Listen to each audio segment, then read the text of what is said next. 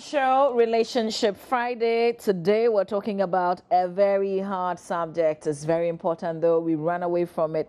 Now listen to this. But I say to you that everyone who divorces his wife except on the ground of sexual immorality makes her commit adultery, and whoever marries a divorced woman commits adultery. We've had different interpretations to it, but the Bible says it as it is. So, how do we avoid divorce? How do we avoid getting into this difficult area? We're talking about the negative effects and prevention of divorce, and we've got a perfect person to do the conversation with. Reverend Dr. Samuel Kisseadoo is here with us this morning. Good morning to you, Rev. Yeah, good morning. You look good. Thank you. Mm. So, the subject of divorce, where do we even start from? How do you prevent it? Can you see and avoid? it's so complex. You know, I was just coming and a man was deeply thinking in his car. I rolled down my window, things I normally do, and I said, Give it all to Jesus, he'll fix for you, he knows what is going on. He was so grateful, so my face nodding the head. You know what my driver said? I'm sure it's marriage and home. Oh. Maybe he came out of the house not happy. Yeah. Yeah, the divorce rate keeps climbing. You know, I've been to Donkokrom, Techiman, Sunyani, Wenchi, uh, Bibiani, and all these places, Akosombo. I'm going to go to Koforidua, Dodua, and all that. Wherever you go, and in Europe and in the US, everywhere, uh, there is a trend of chaos. It is a home problem. Because a home came before marriage came. And people are not trained or training themselves to pay attention to matters of the home. They are paying more attention to matters of the outside and they bring things home just to enjoy. Mm. And the man who is supposed to be the leader, most men do five things they eat at home, they sleep at home, they entertain at home, they have sex at home, and they rest at home. I'll go over. They eat at home. Uh, the other doesn't matter. They rest or sleep. They make love and then they, they entertain themselves. And then they make the place a place where they simply uh, make use of and spend more time outside. Someone can be in the house and spend more time on Facebook, on the phone, WhatsApp, and the rest of them, but in the house. So intimacy, which is closeness to make us know each other and bond to each other, is weak. Mm. So parenting is in a disarray. And the children become the adults. And there's a, such a huge gap, and I keep saying this, between the old and the young. And we don't seem to bridge it, and it's not a major concern. All these infrastructures and all the things we are doing. I was in Western Girls, I went to Cry Girls, Yasantua, and all those places, Prempeh College, and I was telling them, do you know we are going to hand over things to you? All these 14, 15, 16, 17, 18, in the next 20, 30 years, anyone who is 40 or more won't be alive. Very few of us will get to 90 or 100. So is that, is that is the know, also contributing? That is the root. The children are not being trained as if they're going to live with somebody one day with commitment. And there is more attention of the children towards fun and even pornography feelings, cut and paste, ready made, to the point that I was telling, I was in the church yesterday, I was telling them sometimes I refuse to, when it is like 2 over 7 and 3 over 11, I refuse to use the calculator. Because then I'm forgetting all my fundamentals, where the low lowest common multiple and this are intentionally. If you, the brains are dying. These students come to class on the phone. They put on vibrate after phone, so, so, uh, after class on the phone. So I ask them, when do you even think for yourself?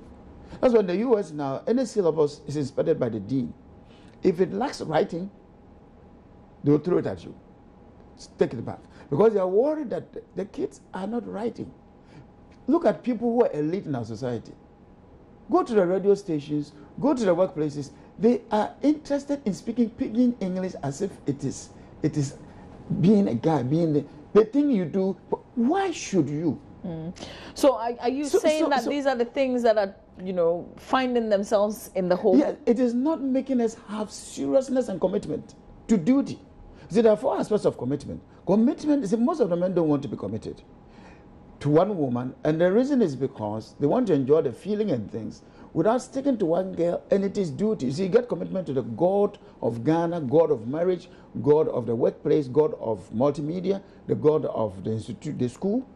Then your duties. What are your duties? As I said, even according, what are your duties towards a girl or boy, someone's daughter, someone's son? Then thirdly, you get committed to the institution.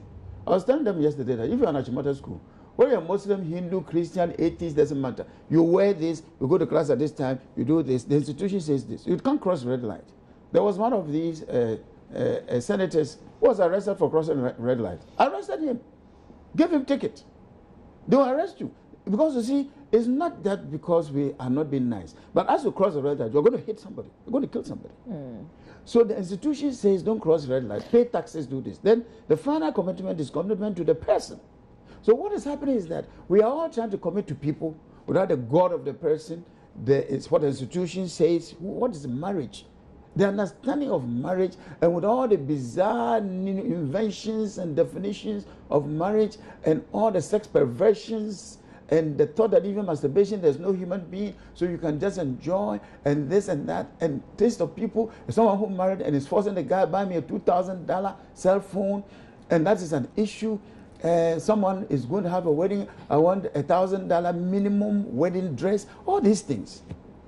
You see? Mm. Look, there's an issue yesterday of someone who has a problem with the lady, doesn't know how to cook. She's in a home where people help all the way through. So now the man tested her to bring ingredients together. To put them together was a problem. And I keep telling the, the, the, them, them around. A lot of the girls are now restaurant girls. So you see, we are trying to copy outside, and some of them have destroyed their infrastructure. You know, develop to a point when you begin to go backwards with things. Mm. So let me, it, it can be very difficult. How do you realize that the path that you're on is not right? You're Someone taking to, yourself to divorce. Someone has to point it out to you. Number two, you have a conscience. If you're going to kill it, it will still be staring at you, but you are refusing denial. Some are ignorant, has to be pointed out. Number two, there are those in denial. Mm. And there are some who are so much ignorant of the truth that they think that it's like a shoe, if it doesn't fit me and it is difficult, mm -hmm. throw it away. I mean, if you're going to throw away every broken down car, the streets will be blocked. We try to fix it. But that is what they think. So the mentality. In fact, this new book I wrote on how to establish a successful uh, marriage as a successful institution. I stated about 14 fallacies I had, like a woman in her period is, is not clean, uh, sex brings you down in marriage. That's what I thought, the impression people gave. Then I realized it's not sex that brings you down, it's not marriage that brings you down, as people give the impression by their behavior and their talk. It is your attitude that determines how high you go. Your altitude is determined by your attitude. If you used to wake up at 5 o'clock, pray, do things around, and now it is just romance and and love making and enjoying soft muscles and things. And then you realize getting to six o'clock, you pray five minutes. That's what brings you down. So people must be taught how to balance. See, men achievers. We, we succeed by achievements. Women succeed by relationship. So if the person doesn't know, and this many don't know, it's not taught. Because the, the parents were not taught by their parents. Mm. So if you stop the man from achieving, you don't have a man anymore. I am this, I did this. And he's on radio, he's on TV. He is standing for this. Vote for me. I wrote the book. I'm this. I am I'm the bishop. I'm the overseer. I'm, I'm the lecturer. I'm the doctor. I invented this. How to balance it to the home. And the woman must patiently be taught how to help. That is where the help comes. Mm. And then he balances. Then the woman succeeds by relationships. They want to be on the phone and chat and talk and this one and that. And they need that warm love and affection because they had no chance to be single for five minutes. A woman came straight into the house of a man in the home. So how to make her happy? If it doesn't become happy in the home, terrible. But when the woman now begins to be like the man, they are fighting for rights which they have already. Some of them they have, but just others don't. And I don't see the, the right. This is a serious, I've been saying it even in the US. I don't see the women groups seriously teaching men how to handle men and be and wonderful wives in homes. Give me equal pay. Give me this, give me that, give me that. And some people have misinterpreted. It's true, they must fight for that. But the misinterpretation is now wanting to be like men, also writing, what they don't give instructions. You must cook too. Some even hate to hear that the woman cooks at home. Mm. There was, I think, it was an argument yesterday. Was it even an argument uh, that what we can equally cook? So it's not the woman's responsibility to cook. It's not a question of responsibility. Look, women, can you listen to me, please? God designed that when a woman cooks good food a man likes, it invokes love. And you have skills. Look, no matter how I make the bed, in 99, I said on Joy, when I was doing program for Ocean Science, Amate, and Komrodumo, I said that if I'm the last to wake up on the bed in June 99, I'll make it. First, I wasn't. And what I hated was when my wife says, let's make the bed. Ah, then you give me the pillow cover and call, can't you do it? I don't say it with my mouth, but it's harder than rocket science. Come on, I'm going to finish this bed. It will, oh Lord, and it's like five minutes. So. When I said that, and I said, you see, if you don't practice, you are sinning. Can you believe that even in a hotel, I can't get out to go and preach if I haven't straightened. One time my wife stopped me and said, What are you doing? The cleaners are coming. I said, I, I don't want to lose the habit. Today, if my wife happened to happen to get up hurriedly to the kitchen, I make the bed. That time I came, she wasn't there. The beddings were there, and then someone called emergency. I made the bed as best as I could. She came and stood by me in front of the computer. Oh, wonderful. These are the things men must decide to do. What does it take away my four master's degrees and my PhD and certificates? If I come and found that he has removed the beddings for washing and then the pillowcase and the bedsheet and things like that, how many men will make the bed? I'm in charge of the master bedroom bathroom. And I tell you, on Saturdays I wake up and I stand there. And it's like, oh, my mother used to have a proverb. It's the eye that's lazy. But when I decide to do, it takes me two hours. There was an occasion where I did the bath, I did the toilet, and then this woman have 19,000 bottles. Me, mine is a toothbrush and uh, deodorant and this and this. As an average woman, some have 400 bottles. Uh, three of them are perfume, uh, 10,000 are perfume, you know. And she wants you to remove all of them, wipe them, and then clean the floor. I looked there and these 10,000 bottles, what I did was take some cloth and then clean in between. and then the floor wasn't too bad, so I did some picking. But the toilet and bath were done. And I remember she came and then she said, in my book on communication, if you have read it, I, I, I put it in.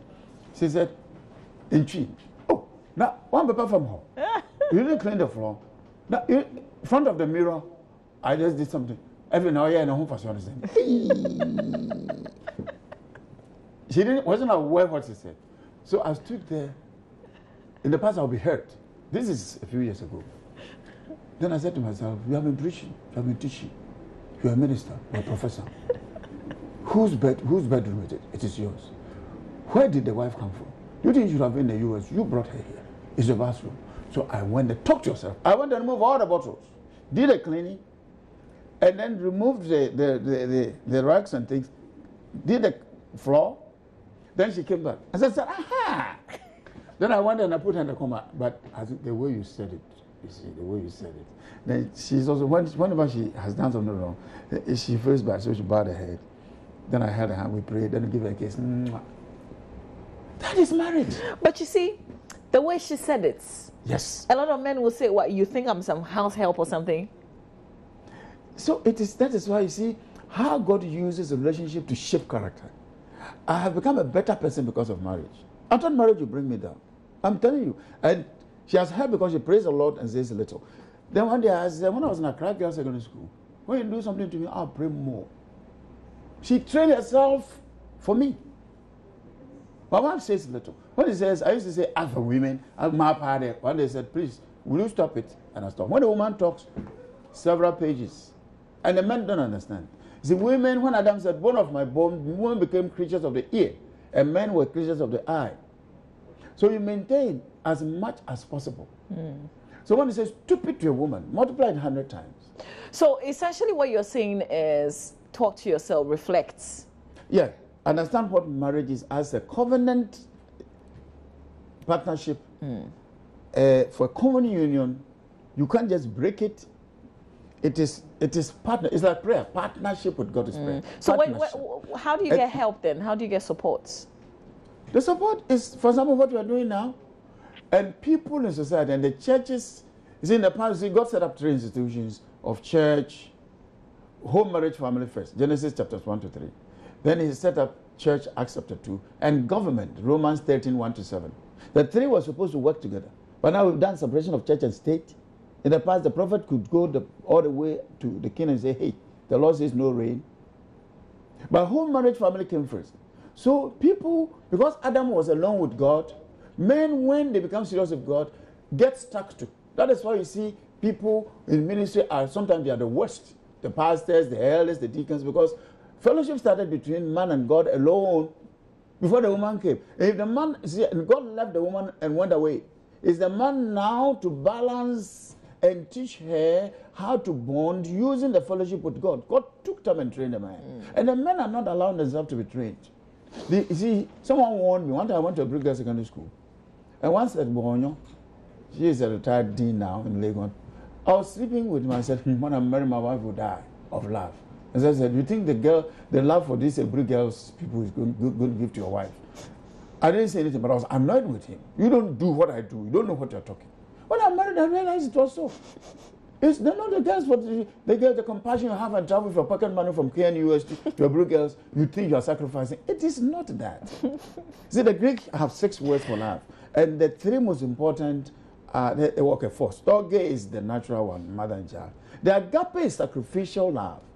That is the love of God. Number two is the filial. Brother, sister makes you vulnerable, you care and things. Which deceives women, the filial. This Philadelphia, brotherly love. Then the eros, E-R-O-S, is the erotic love, which is a sexual love. So the body attracts. That's where children come from. Now I'm telling you, go around every house in this world. Either it's an eros problem he doesn't make uh, no, no, good foreplay.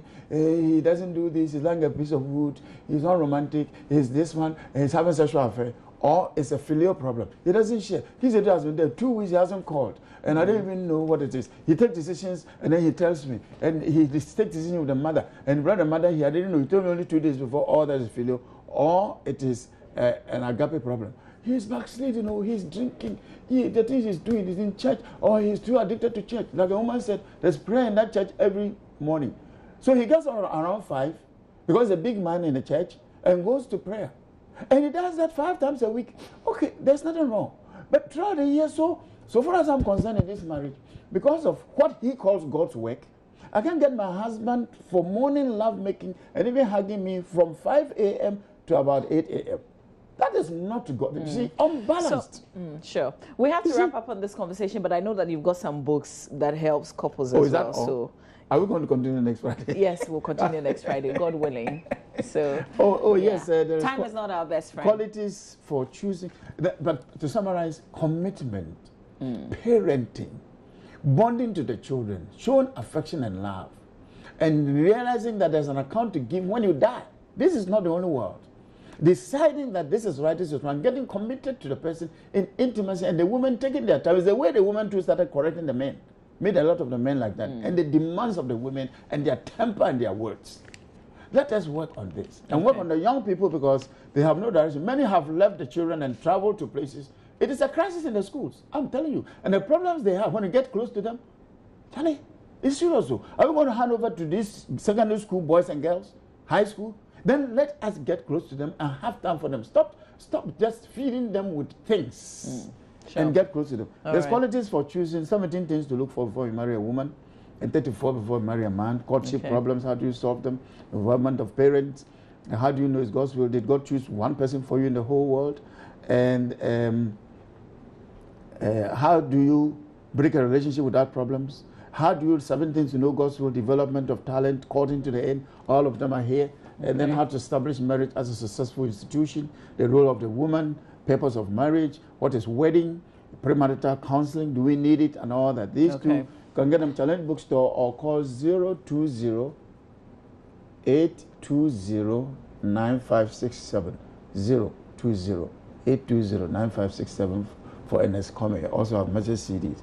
My personal number is 0276 okay.